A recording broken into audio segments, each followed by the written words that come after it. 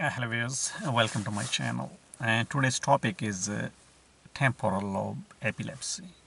Uh, but before starting this topic, I would like to request you to like, subscribe, and share this video for more information. You know,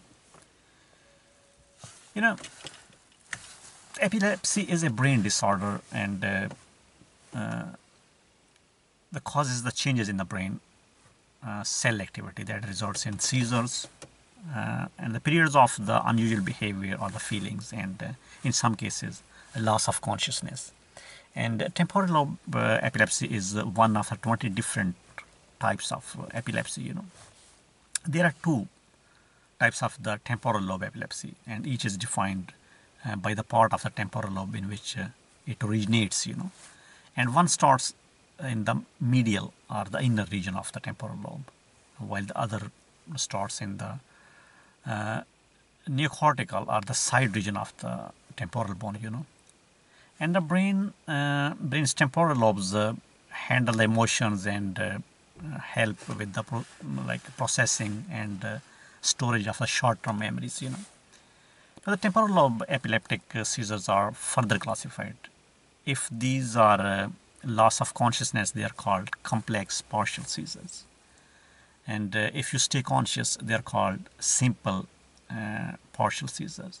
And in most cases the people remain conscious during the temporal lobe seizures and making them simple partial seizures.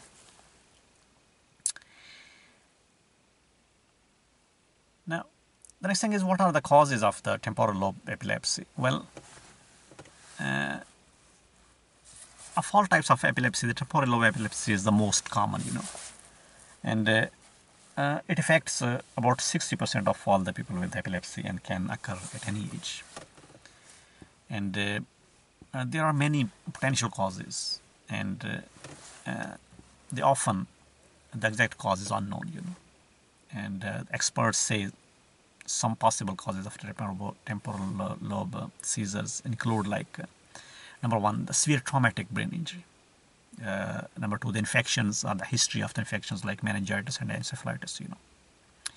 scarring in the uh, like hippocampus part of the uh, temporal lobe, you know.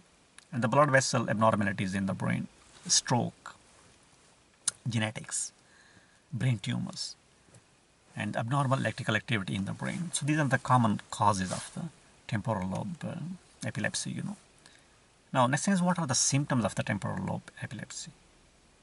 Well, when the temporal lobe uh, seizure starts to occur, a person may experience like sudden and unusual feeling, and, uh, and like uh, such as like uh, extreme happiness or like uh, a rising sensation of the in the abdomen, you know, anxiety and uh, these early signs are called as auras or the warning signs you know. And uh, they may last for a few seconds up to few minutes before the seizure occurs you know. And other possible auras include like uh, uh, hallucinations of the sounds voices and the people smells and tastes.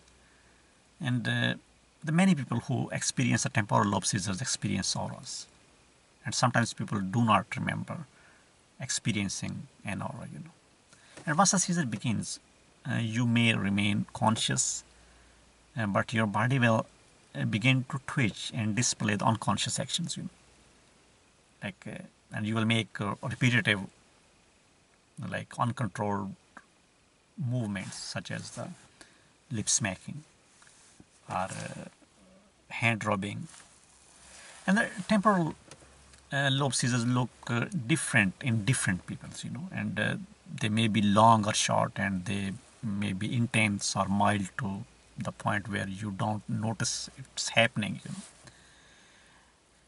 And uh, after a temporal lobe seizure occurs, uh, you may experience uh, trouble in speaking, confusion, and like being unaware of the seizure, you know and intense fatigue. And rarely the people who experience a temporal lobe seizure will go on to experiencing a like a generalized tonic-clonic seizure, you know, and uh, which causes the like uh, convulsions and loss of consciousness, you know.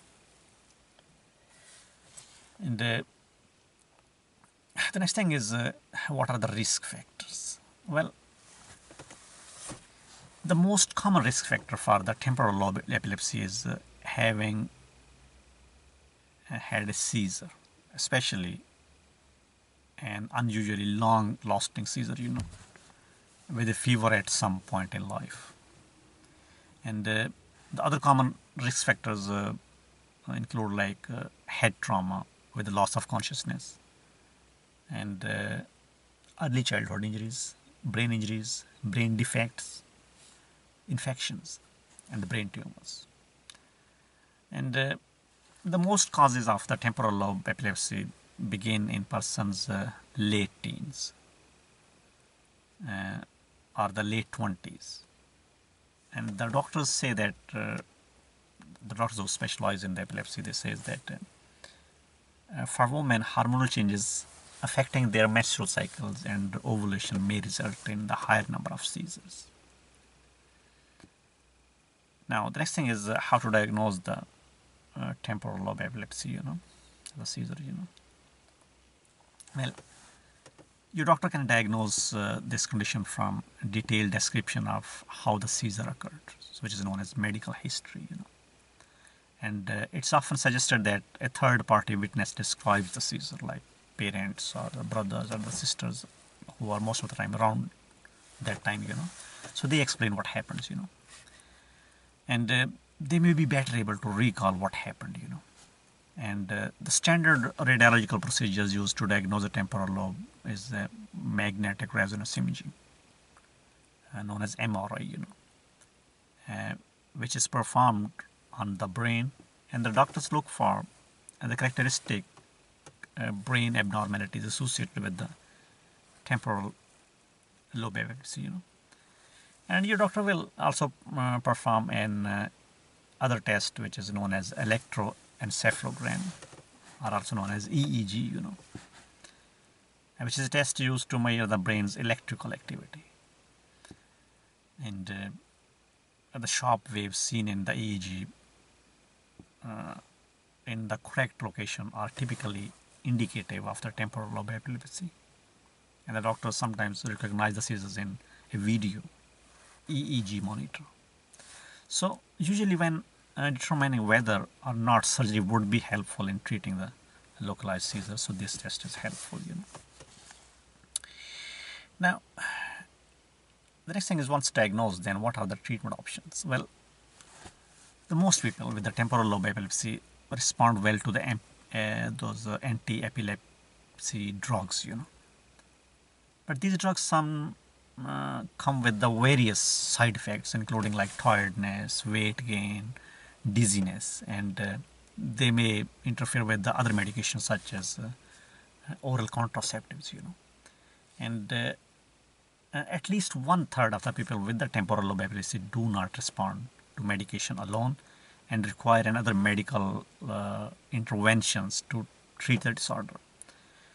And the surgery is another common treatment for the people with the temporal lobe epilepsy, you know. And the surgery, uh, like, uh, it's a common treatment for the people with this type of uh, condition, you know, and uh, it is used to eliminate or reduce the number of seizures a person experience. And uh, as all surgeries carry some risks, you know, and uh, an unsuccessful surgery may actually create the neurological problems in some cases, you know. And the other types of the medical treatments, uh, interventions used to treat the temporal lobe epilepsy include like vagus nerve stimulation or uh, responsive uh, neurostimulation and uh, deep brain stimulation, you know. Uh, like uh, the vagus nerve stimulation is uh, a stimulation is a device. It is surgically implanted in the chest under the collarbone uh, with wires from the uh, stimulator connecting to the vagus nerve in the neck may help to reduce the frequency and the intensity of the seizures you know. And uh, in case of the responsive uh, neurostimulator, a stimulating device is implanted on the surface of the brain or uh, in the brain tissue, which is attached to the battery powered generators that uh, attach to the skull near the brain, you know. And the device detects the seizures and sends an electrical stimulation to the area where the seizure is occurring in an attempt to stop it, you know. Now, another uh, method is the deep brain stimulation. Uh, this is an uh, experimental treatment that involves uh, implanting the electrodes uh, into a part of the brain called the thalamus, you know. And uh, these electrodes emit electrical signals that stop the seizures. Okay, so these are the treatment options, you know. Now there are the lifestyle changes can um, also help to reduce the risk of having the uh, temporal lobe seizures or uh, epilepsy, you know. And some activities can be dangerous if you have the temporal lobe epilepsy or uh, otherwise prone to seizures, you know. And these may include like the swimming or bathing, you know, and, and work high off the ground, you know, uh, because there is a danger of fall, you know, and driving a car or operating the dangerous machineries, you know. So these are risk um, uh, factors. These are the risks involved, you know, while you are performing these kind of dangerous activities, you know. And uh, uh, you know, you might want to consider wearing a medical alert bracelet, you know, that emergency personnel or the people near you refer uh, to in case you have the seizure, you know, and uh, uh, it should list your condition uh, whom to contact in case of emergency, and what medications you are taking, and uh, any kind of allergies, you know. So it better helps the doctors to manage properly in case of any emergency, you know. Uh, well, next thing is uh, about the outlook or the prognosis, you know.